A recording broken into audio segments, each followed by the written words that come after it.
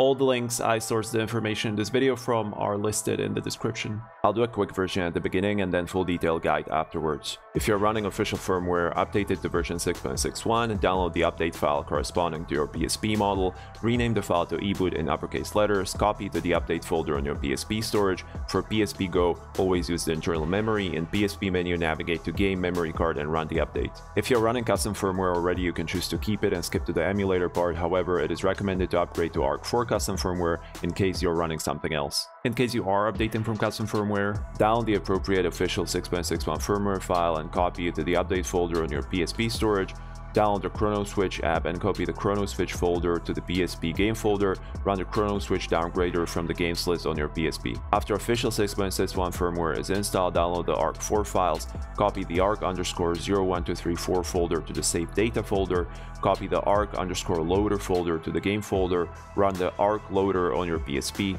After installation, do not fully turn off your PSP, back in the ARK-4 files, go to the PSP folder and copy the ark underscore CIPL folder to the game folder in the PSP games list, run the ark CIPL flasher. Download the GPSP emulator, copy the GPSP folder to the game folder. You need to find your lost GBA BIOS file on the internet, copy it to the GPSP folder on your PSP. You also need to find your lost GBA ROM files of your games on the internet, copy them to the GPSP GBA ROM folder. Run the Game Boy Advance GPSP emulator on your PSP, choose your game, success. First, check the system software version in your PSP. If the version shows only numbers, you are running an official firmware. If it is anything other than 6.61, we are going to upgrade it. Before doing anything, make sure that your PSP is charged, that your battery is secured in place, and also keep the PSP on charger all the time. You should also know your PSP model. It might not be needed now, but generally it is good information to know. You can find the model number on the label behind the battery pack. However, it is easy to recognize visually. Look for the position of the speakers and the Sony logo. Go to the custom firmware guide page, click on the link updating the PSP, choose the 6.61 firmware according to your PSP model, hit the download button. After the download is finished, unzip the file if needed, and rename the PBP file to eboot in uppercase letters. You can either work with the PSP memory card externally or connect your PSP with a USB cable to your computer and turn on the USB mode. Attention for PSP Go owners, according to the guides, when dealing with firmware, always copy necessary files to the internal memory. Copy our new eboot.pbp file. In the PSP storage, navigate to folder PSP game update, and paste the file into the update folder. If there is already an eboot file in the update folder, replace it with our new one. In case there is not an update folder in your game folder, create it. Do not forget uppercase letters. Put the memory card back to your PSP or exit the USB mode. In the menu, go to Game, Memory Stick, and click on the PSP update version 6.61. Wait for the installation to start, confirm the start, press right arrow key, bottom and right to accept, X button to start the installation. When update completes, press X to restart the PSP. Go again to system information and you should see that you are running firmware version 6.61.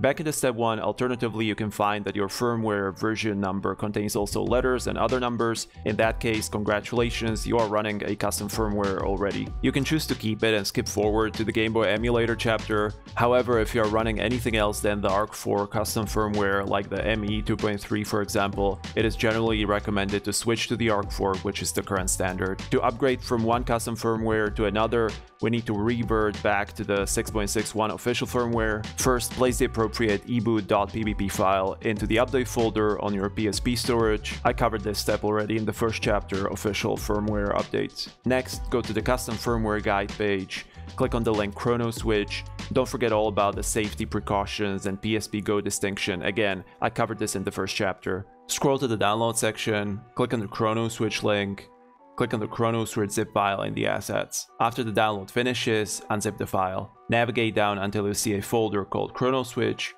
copy it onto the PSP storage to the game folder. In the PSP menu, navigate to Game, Memory Stick, and find Chrono Switch Downgrader. Click X to start it, wait until it runs its system checks, press X to continue, press X to confirm the start. This process is exactly the same as in the first chapter of this video. X to start, right, down, right to agree to the license, X to confirm the installation. X to restart, go to system information and you should see that you're running official 6.6.1 firmware. Go to the custom firmware guide page, scroll down to downloads, click on the link latest stable release on GitHub, scroll down to assets, click on the ARK-4 zip file, unzip the downloaded file, open the unzipped ARK-4 folder, find folder called ARK underscore 01234 and copy it to your PSP storage to PSP save data. Back in the downloaded ARK-4 folder, copy the ARK underscore loader folder and copy it to your PSP storage to PSP game. In the PSP menu, navigate to Game, Memory Stick, and find ARK Loader. Press X to launch the installation and wait for the soft restart after it is finished. Careful, right now the ARK-4 custom firmware is only temporary and reverts back to our official 6.61 if the PSP shuts down.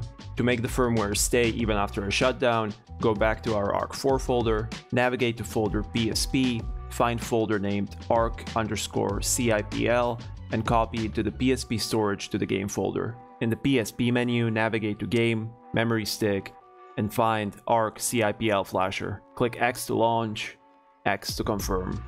After the automatic restart, go to the system information and you can see that you're running permanent ARK-4 custom firmware. In the PSP game folder, you can remove folders ARK underscore CIPL, ARK underscore loader, chrono switch, and update.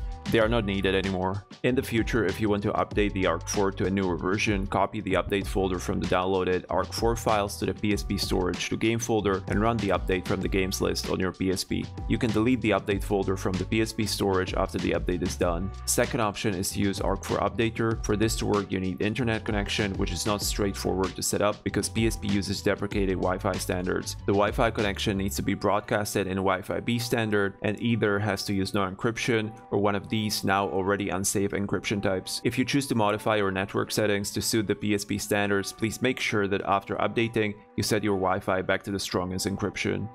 Now when the PSP has custom firmware, we can get to the Game Boy Advance emulator. Go to the GPSP page, scroll down to downloads, click the link download from Wololo.net. Unzip the downloaded file and copy it into your PSP storage to PSP game folder. Now come to tricky parts. In order for the emulator to work, it needs Game Boy Advance BIOS image file. Unfortunately, you lost your own BIOS file a long time ago somewhere on the internet and it is up to you to find it now. Use Google. Don't forget that you are looking for GBA BIOS. In more detail, it is a 16 kilobyte file named GBA underscore BIOS.bin. To verify that you found the correct file, open the MD5 checksum page, drag and drop the found BIOS file, and copy the output to any word processor. Next, go to the gamebrew.org GPSP page, scroll down to installation section, and copy the stated checksum to the same word processor to a new line. If the text in both lines is identical, you have found what you had been looking for. Copy the gba underscore bios.bin file to your PSP storage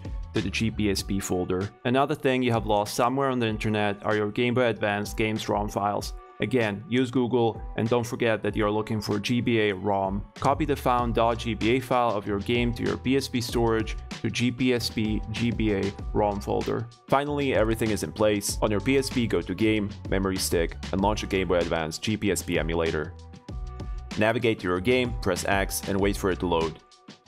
Success, you are now a retro gamer. I'm proud of you. Be aware that while in-game the emulator borrows the Nintendo button layout, the confirm button, the A button, is positioned on the right on Nintendo, so circle on PSP. The back button, the B button, is on the left, so X on PSP. At any point in the game, you can use the save state function, and then every time you launch the emulator in your game, you can hit the triangle button and load the save game state to continue where you left off. If you put your PSP to sleep while in-game, after waking it, simply choose the return to game option to continue.